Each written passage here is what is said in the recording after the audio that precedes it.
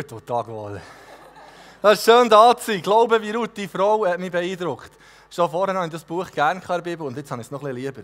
Es ist anscheinend auch von literarischem höherem Wert, das habe ich nicht gewusst. Zum Beispiel der Goethe schreibt über das Buch, oder hat geschrieben, der schreibt nicht mehr, der hat geschrieben, das lieblichste kleine Ganze, das uns episch und idyllisch überliefert worden ist. So schön könnte ich das gar nicht ausdrücken. Aber eben, er war ein Schriftsteller. Gewesen. Oder der Alexander Schröder, auch deutscher Schriftsteller, hat geschrieben, dass kein Poet in der Welt hat eine schönere Kurzgeschichte geschrieben. Also das Buch Ruth ist von hohem literarischem Wert, aber für uns ist es natürlich von theologischem Wert, von einem Wert, der unser Leben anspricht. Und das werden wir heute Morgen so ein bisschen, so ein bisschen zusammen anschauen, weil mir hat das wirklich mir hat das begeistert. Und als Einstieg, die Ruth war ja recht herausgefordert.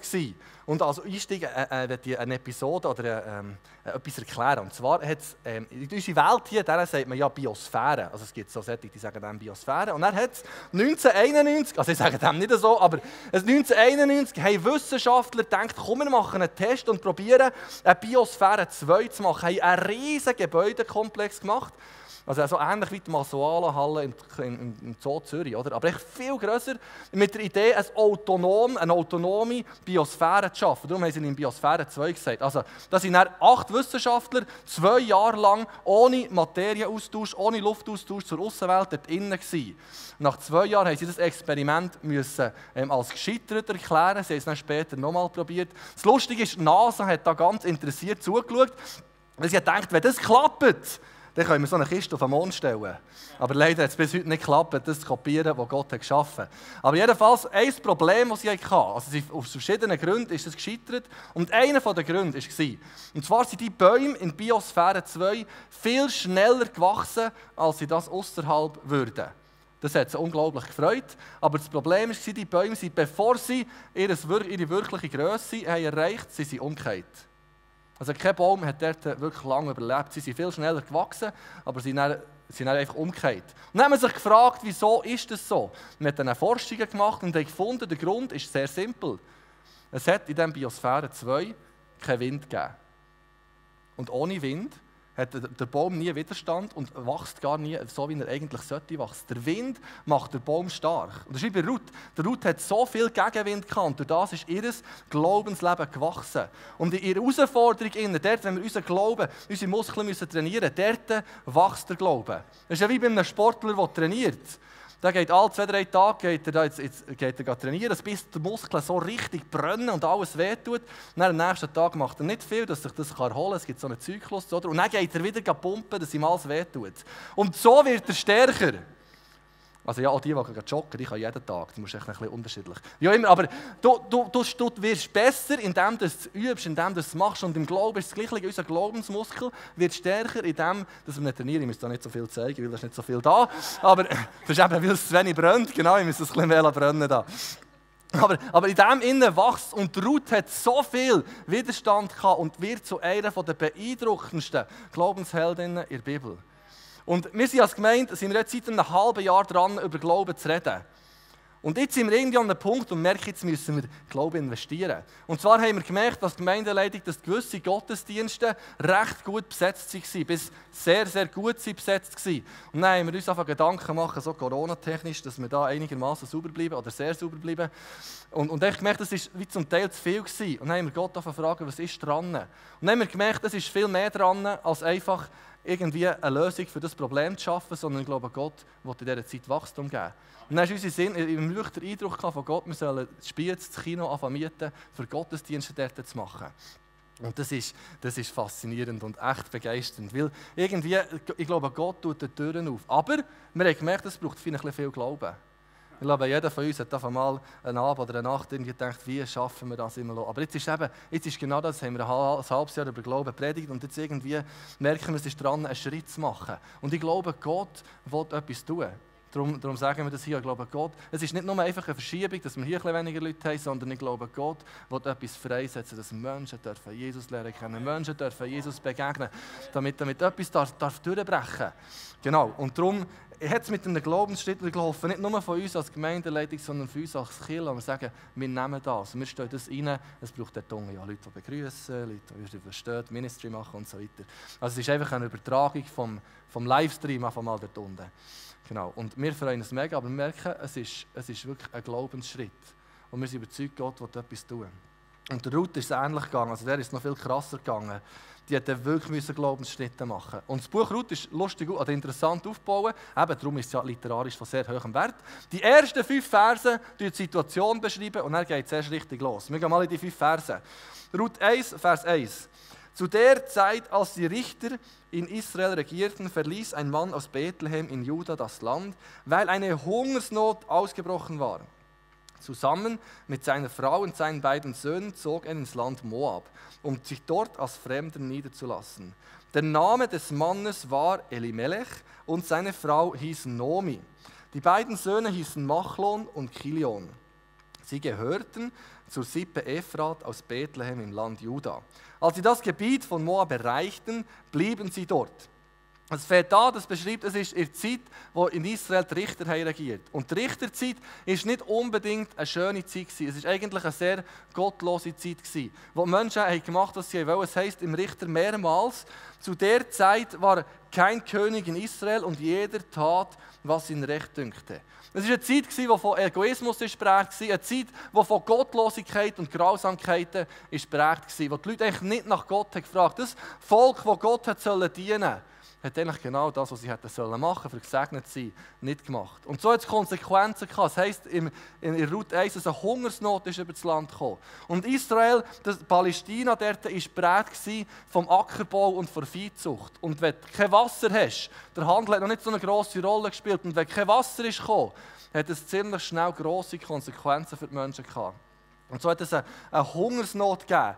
Und irgendwo hat es damit zu tun, dass, dass Menschen eben nicht nach Gott haben gefragt und das eine Konsequenz davon war. Und die Israeliten haben nicht, haben nicht nach Gott gefragt. Aber irgendwie in Bethlehem finden wir eine Ausnahme. Der Elimelech und seine Frau müssen, so wie wir das lesen, gottesfürchtige Menschen waren. Sie sind aus dem Stamm der Ephraiter, also nicht vom Stamm, sondern von Sippen der Ephraiter, sind wie die, die Bethlehem gegründet haben. Das haben wir ja letzten Sonntag gehört mit dem Salmon, wo, wo das Bethlehem gegründet Und dort, dort ist, ist der Elimelech hat zu dieser Familie dazugehört. Und Elimelech heisst, mein Gott ist König. Und Ruth heisst die Fröhliche oder die Liebliche. Und irgendwie, das waren wahrscheinlich gottesfürchtige Leute. Gewesen. Und dann kommt die Hungersnot und dann haben sie gedacht, ja wieder Abraham und Isaac, wir gehen auf Ägypten. Dann sind sie in die andere Richtung gegangen, sie sind auf Ägypten, sie sind auf Moab gegangen. Moab ist östlich, liegt östlich vom, also östlich ist für hier, euch hier, genau, östlich vom Toten Meer. Und das war so eine Hochebene, so ein Hochplateau. Und durch das hat es dort oben länger Wasser gehabt. Und irgendwie ist es dort fruchtbar, es war nicht geprägt von grossen Städten, sondern, sondern von kleinen einzelnen Orten. Und die Moabiter sind ja Nachkommen vom Lot. Also der Lot mit dem Abraham ist in das verheißene Land gekommen und aus dem Lot hat es nicht die Moabiter gegeben. Und Moabiter waren mit den Israeliten verfindet. Eigentlich ab dem Zeitpunkt, wo das Volk wollte, in Jericho einziehen und dort durch das Land Moab wollte, durch wollte, hat ja da der moabitische König hat dann da der, der Biliam gekommen und das war eine riesen. Und eigentlich ab dem Zeitpunkt sind die zwei Völker miteinander verfindet. Gewesen. Und die Israeliten haben nicht Freude an den Moabiter und Moabiter nicht an den Israeliten. Und das Krasse ist, in Richterzeit haben die Moabiter 18 Jahre lang Israel beherrscht. Also das war noch so eine Wunde, genau, sie mussten Tribut zahlen, den Moabiter, bis genau der Ehud dann befreit. Die Geschichte vom Ehud, genau, das ist das mit dem Dolch dort. genau, das ja nicht weiter drauf ein. Aber, aber das, ist, das ist eigentlich nicht Krieg, aber nicht, das waren nicht beste Freunde. Gewesen. Und es heisst dann ab dem Vers 3, also die sind dort hergegangen und dann beschreibt die Bibel, doch dann starb Elimelech und Nomi blieb mit ihren Söhnen allein zurück. Die beiden heirateten zwei Frauen aus Moab, sie hießen Orpa und Ruth. Nach etwa zehn Jahren starben auch Machlon und Kilion. Nun hatte Nomi keinen Mann und keine Söhne mehr. Wir lesen das so in der Bibel und denken, ja, ja, das ist ja so gewesen, das haben wir schon x-mal gehört, aber das ist eine grosse Tragik. Es ist eigentlich die grösste Not, die jemand treffen konnte, wenn alle Nachkommen sind gestorben. Es hat nicht einen Sozialstaat gegeben, wie es es heute gibt. Die Ruth ist mit dem völlig mittellos. Sie war angewiesen auf Verwandte, die ihr helfen würden. Es ist das schlimmste Elend, das jemand treffen konnte. Sie hat kein Land mehr gehabt, sie hat keinen Besitz mehr gehabt, sie hat nicht einmal mehr einen Mann, keine Söhne mehr gehabt. Und ihre Schwiegertöchter waren rechtlich nicht verpflichtet, ihr zu helfen sondern mit dem Tod von ihren Männern sind sie eigentlich wieder frei gewesen. Und dann hat, Ruth etwas, dann hat Nomi etwas gehört. Ab Vers 6. Bald darauf erfuhr sie eben Nomi, dass der Herr sich über sein Volk erbarmt und ihm wieder eine gute Ernte geschenkt hatte. Sofort brach sie auf, um in ihre Heimat Juda zurückzukehren. Ihre Schwiegertöchter begleiteten sie. Und hier fängt die Geschichte so richtig an. Wo, Ruth sagt, wo Nomi sagt, jetzt, Ruth und Nomi, muss aufpassen morgen, wo Nomi sagt, jetzt gehe ich zurück in das Land vor Verheißung. Dort, wo mich Gott eigentlich hat hergerufen. Ich war lange in einem anderen Land, in einem Land von Gottlosigkeit, wo ein anderer Gott angebetet wird, in einem Land, das nicht nach den Werten, nach den biblischen Werten lebt. Und sie merkt, jetzt hat sich Gott meinem Land erbarmt und jetzt gehe ich zurück. Und die Predigt, das ist aber lustig, eine kleine Gruppe über eine Predigt austauschen. Der, der eine spricht das an der andere dieses und hier und das gibt eine Verteufung. Und manchmal ist ganz am Anfang von der Predigt etwas, was ihm anspricht. Und ich habe wirklich das Gefühl gehabt, in der Vorbereitung ist etwas, wo Gott so einige redet. Wie vielleicht das, das, das Gefühl zu haben, ich bin in diesem Land Moab und nichts stimmt in meinem Leben. Es ist so verloren, es ist irgendwie, ist die Kraft Gottes nicht da, es ist, es ist vieles ist nicht so, wie es sollte sein. Und dann habe ich das Gefühl, wie der Aufruf von Gott, jetzt zurückzukehren ins Land vor Verheißung. Wie innerlich sich aufzumachen und zu sagen, jetzt kehre ich wirklich um zu Gott.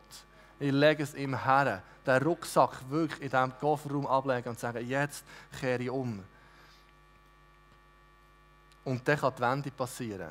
Nomi ist nicht gegangen und die beiden Schwiegertöchter wollten mitgehen, wieso auch immer. Das ist beeindruckend. Ich weiß nicht, wieso das Orpa und Ruth mit so einer alten Frau irgendwo in ein fremdes Land ziehen wo eigentlich alles finden sind, wo alles Leute sind, die ihm nicht gerne haben, die, ihm abstoßend, abweisend sind.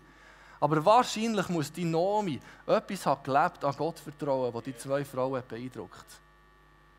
Ich nehme an, Nomi hat erzählt vom Abraham, vom Isaac, vom Jakob, von, von der Eroberung vom Land, von all diesen Wundern, die Gott hat gemacht hat.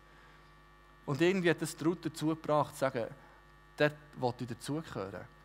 Es heisst ab dem Vers 15, da forderte Nomi sie auf, also die Orpa ist irgendwann, die Nomi hat gar nicht wollen, dass die mitkommen, die Nomi hat gar nicht wollen, dass die zwei mitkommen und die Orpa ist irgendwann gegangen, aber die Ruth hat nicht nachgelassen. Da forderte Nomi sie, also die Ruth auf, schau, deine Schwägerin kehrt zu ihrem Volk und zu ihrem Gott zurück.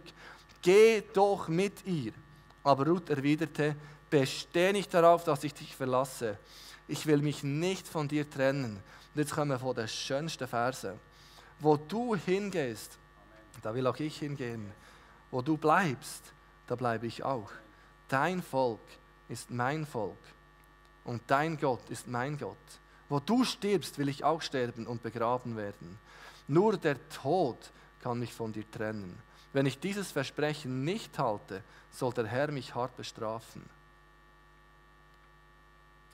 Das Beeindruckende für mich ist, Ruth hat bis zu dem Zeitpunkt nur negative Gotteserfahrungen gemacht. Ihr Schwiegervater ist gestorben, ihr Schwager ist gestorben und ihr Mann ist gestorben.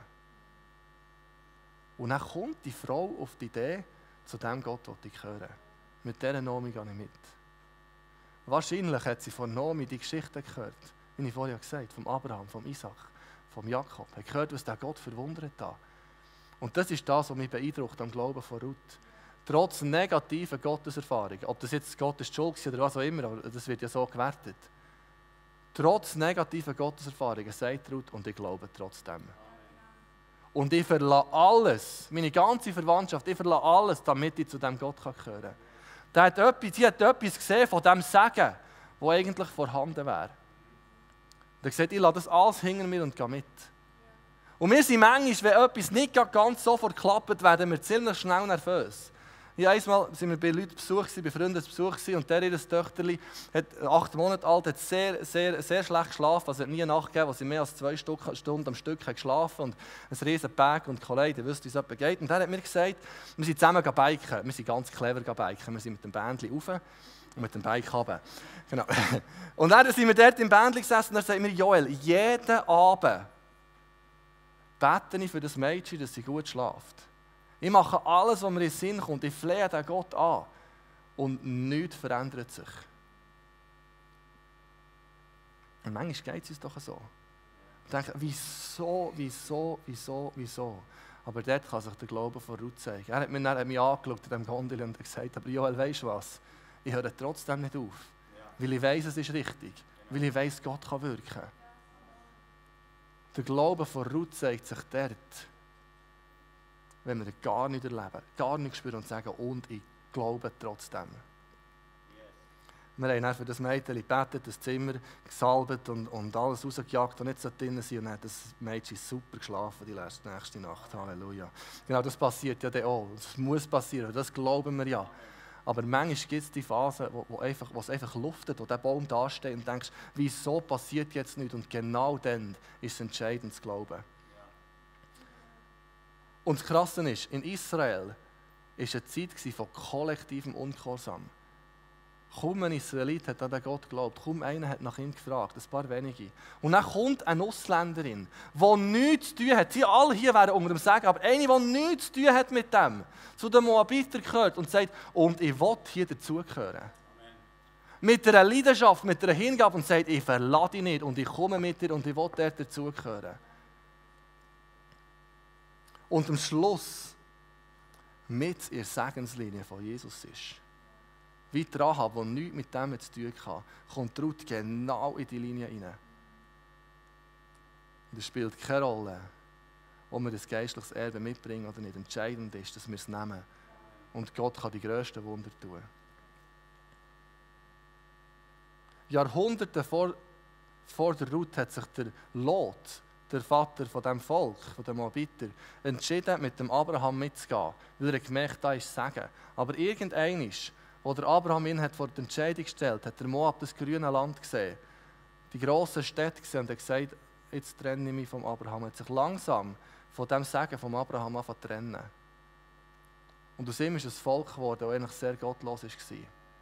Und Jahrhunderte später kommt Ruth, Nachkommen von dem Lot und sagt, und ich will dazugehören. Und ich gebe nicht auf, bis ich Teil von dem Sagen werde. Und Sie schwört sogar.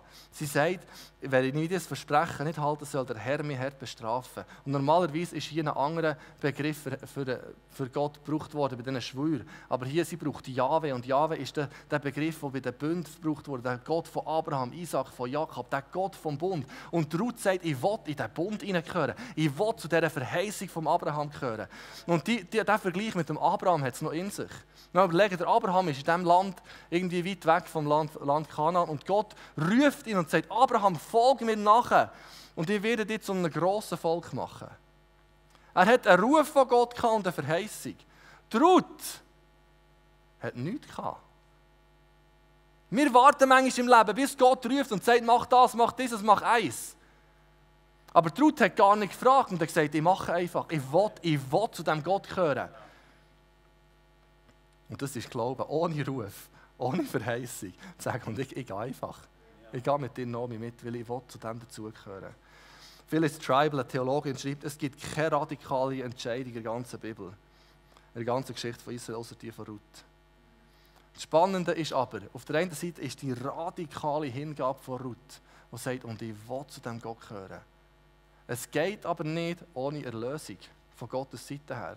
Die Ruth kommt auf das Bethlehem und ist immer noch heimatlos. Die Ruth kommt auf das Bethlehem und ist immer noch ganz unten. Sie hat nicht einmal eine Nahrungsgrundlage. Sie muss auf irgendwelchen Feldern Ähre zusammensammeln, die die Schnitter haben liegen Sie, ist immer noch, sie hat zur ärmsten, ärmsten Schicht gehört. Sie hat immer noch selber irgendwie müssen, äh, krampfhaft probieren, sich zu ernähren. Und es hat in Israel ein System gegeben vom, vom Löser, wo Gott hat eingerichtet hat, dass eben genau zu Sättigen geschaut wird. Und das ist im 3. Mose 25 und im 5. Mose 25 beschrieben. Und zwar war die Idee, wenn, wenn eine Witwe ist zurückgeblieben, also wenn der Mann ist gestorben und Nachkommen sind gestorben, dass man zwei Sachen müssen sicherstellen musste. Das eine ist, äh, hat das Gott, Gott hat das so eingerichtet, dass das ganze Erbe, das ganze Land, wie in dieser Sippe erhalten bleibt dass es nicht irgendwo sonst zuteilt wird, sondern Gott hat das Land ja zuteilt. Und so hat einer von den nahen Verwandten müssen das Land kaufen, also er musste Geld zahlen, er musste sich investieren, damit die Witwe wieder in das Land hatte.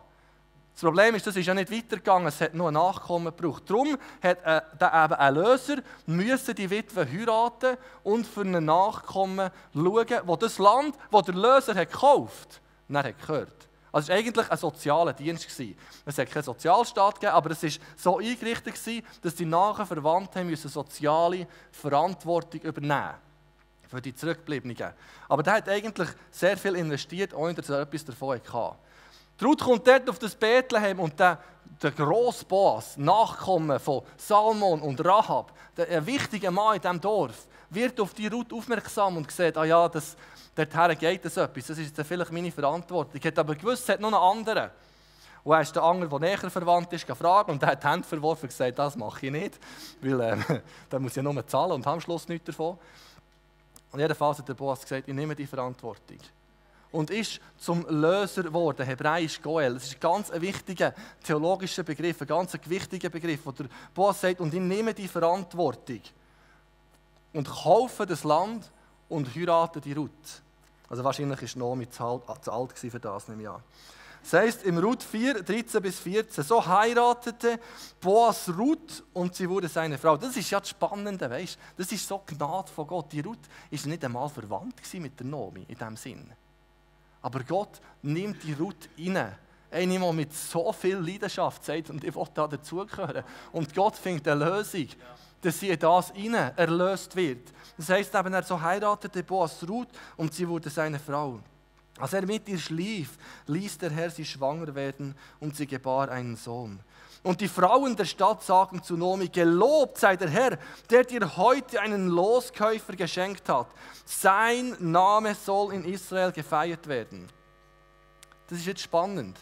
Die Frauen sagen, der Name vom Sohn, vom Obed, soll gepriesen werden. Und das ist der Name, das ist der, der dich erlöst. Eigentlich ist der Boas ja der Löser von Ruth und Nomi. Aber weil aus dieser Ehe zwischen Ruth und Boas kein Sohn wäre gekommen, wäre das Ganze für die Katze gewesen. Es wäre gleich kein Erbe da von diesem Land. Es wäre gleich kein Nachkommen vom Elimelech gewesen.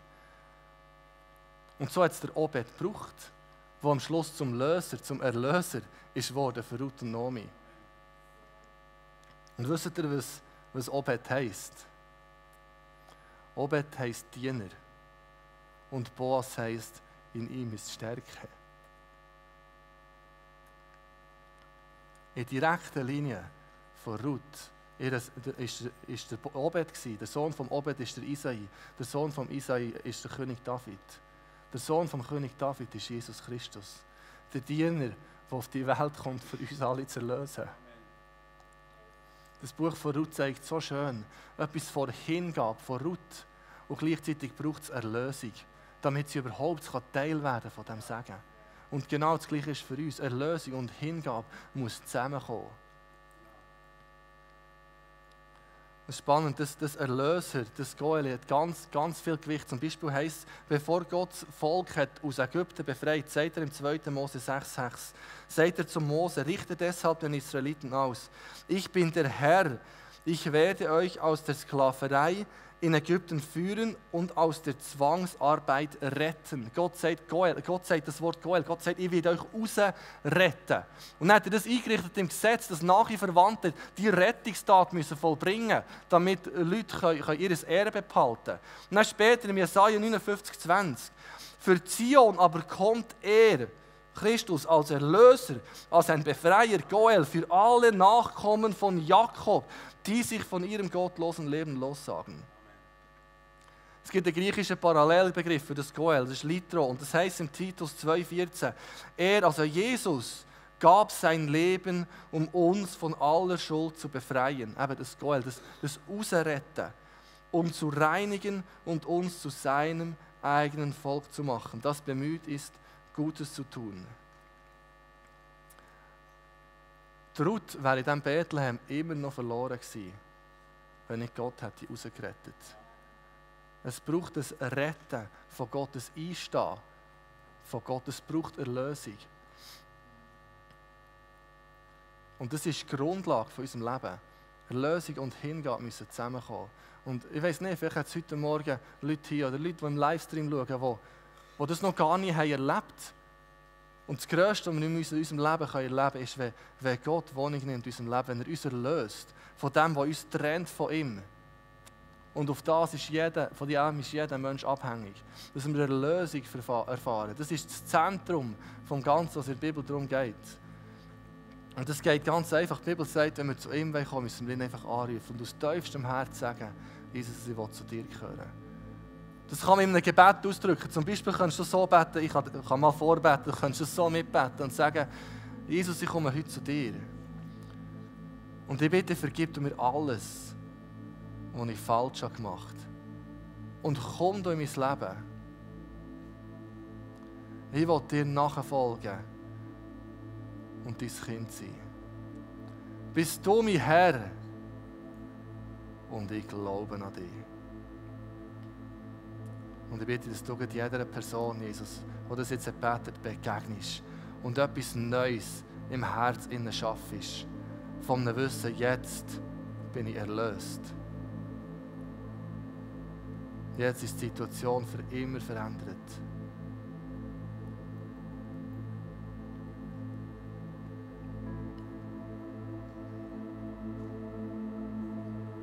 Mich beeindruckt die Hingabe von Ruth.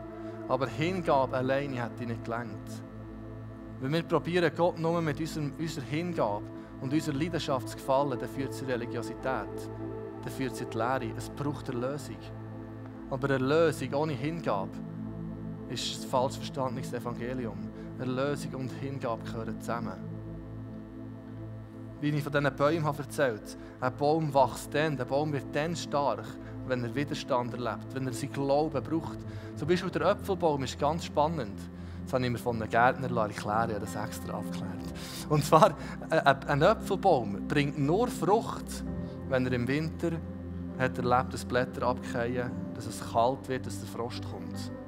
Er braucht die Phase, wo es hart ist, wo es nicht angenehm ist, damit er im Frühling wieder Frucht bringt.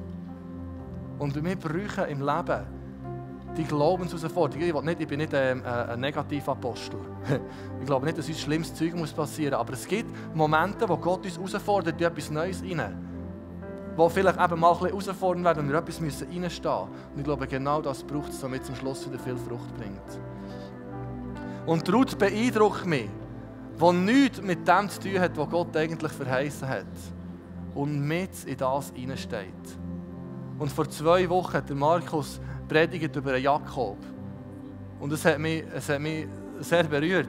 Die, die Geschichte von Jakob, der eigentlich ein Erbe hat und mit Leidenschaft in das hineinsteht und sagt, ich will das Erbe, das Gott mir gegeben hat. Und ich glaube, es gibt viele von uns, die irgendwo gläubige Eltern haben und ein geistliches Erbe mitbringen, was geht wie im Jakob. Aber es gibt auch die, was geht wie Ruth.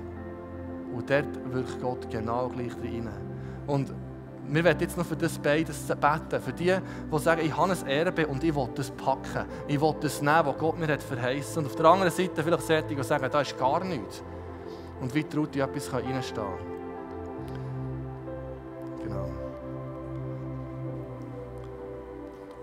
Das zu zeigen, bringen wir da noch das Töchterli. Wo, wo irgendetwas... Genau, du kannst anfangen reden. ja, wir für das genau, beten. Jesus. Und ich glaube, es ist wichtig, wie, das, wie innerlich in das hineinzustehen und zu sagen, okay, ich, ich nehme, was Gott hat gegeben an Erbe. Genau.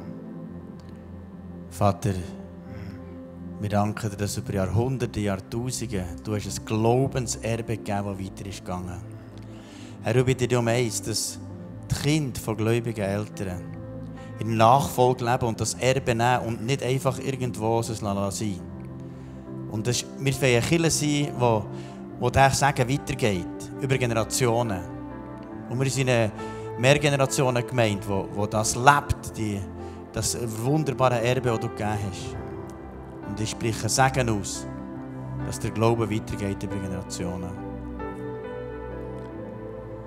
Jesus, ich bitte auch für all die, die, die kein Erbe haben in ihrer Familie, die, die nichts von dem sehen. Und ich bitte, dass du heute Morgen alle Minderwertigkeit wegnimmst, alles Denken, ja, bei mir ist eh nicht vorhanden, ich kann es eh lassen. Herr, bitte, dass du all das, das Denken wegnimmst, wegwischst, Jesus, und, und eine Entschiedenheit gibst wie bei der Ruth, und sagt, und ich will in das Erbe hineinstehen, das Gott für mich hat. Und dann dankst du heute Morgen kommst und Berufungen austeilst. Und tief in das Herz reinredest, Jesus, was du für einen Wert gibst was du, was du für eine Begeisterung hast, was du für Berufungen reinlegst, Aufgaben reinlegst. Jesus, danke, dass du heute Morgen eine Freisetzung gibst, wo das gecancelt wird, das Denken, ja, bei mir ist ja gar nicht da. Herr Jesus, und neutestamentlich gibt es keinen Werteunterschied zwischen der genau. biologischen Familie und der geistlichen Familie. Du selber, Jesus, hast die Kirche als die Familie, die Institution genommen. Hast gesagt, das ist meine Familie. Und wir sind Geschwister und wir sind alle zusammen miteinander verwandt mit dem Vater im Himmel. Darum beten wir auch unser Vater im Himmel, weil wir alle den gleichen Vater haben. Und durch Jesus haben wir Zugang zu diesem Vater. Und das heisst, in der Nacht, wo Jesus ist verraten wurde, hat er Brot genommen, hat dankt und gesagt, das ist mein Lieb, das für euch hingegeben wird. Und nach einmal hat er den Kelch genommen und gesagt, mein Blut, das für euch vergossen wird. Hat er wieder Bund eingesetzt, dass wir Bundesgenossen sind von ihm und den Zugang haben zu dem, zu dem Erbe vom himmlischen Vater. Und wir ein Erbe bekommen, das ewig ist, voll, vollkommen ist. Allein durch Jesus. Und jetzt sind wir miteinander das Abendmahl nehmen, wie wir das feiern. Und Jesus, ich bitte dich, segne das Mahl, segne das Brot und den Traubensaft und lass uns erleben, wie wir als Erbe eingesetzt sind. Darum sollen wir uns immer wieder an das erinnern, dass wir als Erbe eingesetzt sind. So segne das mal, bitte Jesus. Jetzt sind wir das Abendmahl unter den Stuhl. Wir sind das von Amerika eingeflogen, weil im Moment können wir wegen Corona nicht ein anderes Abendmahl nehmen. Und jetzt seht ihr, ist so, da hat es zuerst einmal so eine Folie. Die Folie kann man abziehen und dann käme dann quasi das Brot. Es schmeckt natürlich nicht nach Schweiz- Schweizer Brot, da haben sie aber nicht die Qualität wie wir.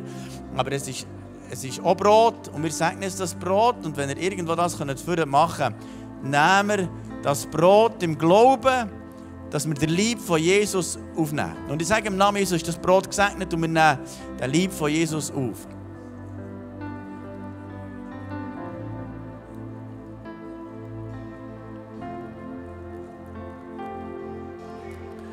Und nachher kann man das nächste auftun, das ist die- die Folie mit, für das Traubensaft. Ich muss aufpassen, dass nicht alles schü- überschüttet, da irgendwie nicht über die Hose runter. Dann auftun. Und ich segne den Traubensaft als Blut von Jesus und es ist gesegnet im Namen Jesus.